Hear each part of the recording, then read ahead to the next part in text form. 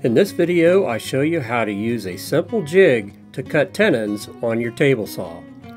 With this jig, you can cut perfect tenons every time, safely and accurately. I made this simple jig out of 3 quarter inch plywood. The sides are approximately 10 inches square. In between those two pieces, I cut a bridge piece that's exactly the width of my rip fence on my table saw.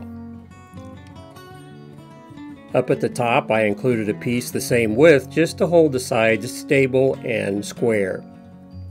Finally I added a cleat that holds the workpiece vertically when cutting the tenons. A couple of toggle clamps help secure the workpiece during the cut. You could always use a standard bar clamp to secure the workpiece if the toggle clamps are a little awkward to use in any particular situation. Assembling the jig is fairly simple. I used glue and screws to assemble everything except for the cleat. The cleat I just secured with a couple of screws because as you use the jig, it's going to get chewed up at the bottom end. So occasionally you're going to want to replace the cleat, which means you also have to remove and reinstall the toggle clamps, but that's no big deal either.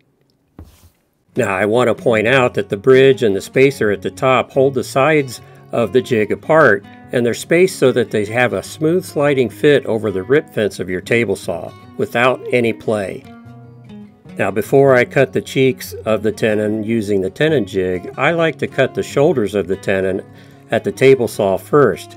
This gives me nice crisp clean lines for the shoulder as I cut the cheeks. Now here I've got the piece clamped vertically in the tenon jig with the back edge against the cleat and the toggle clamps to hold it secure against the face of the jig.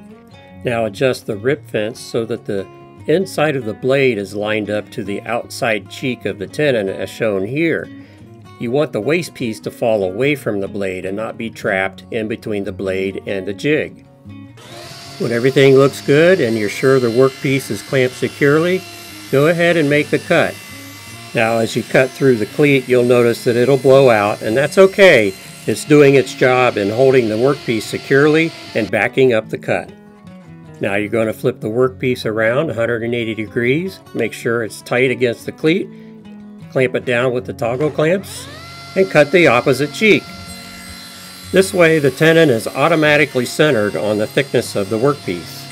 Now you're going to rotate the piece 90 degrees to cut the side cheeks of the tenons, and here's where a bar clamp may come in handy. The end result is a perfectly cut tenon ready to assemble into your project. You can download plans for the tenon jig at woodworkersinstitute.com or at the link below.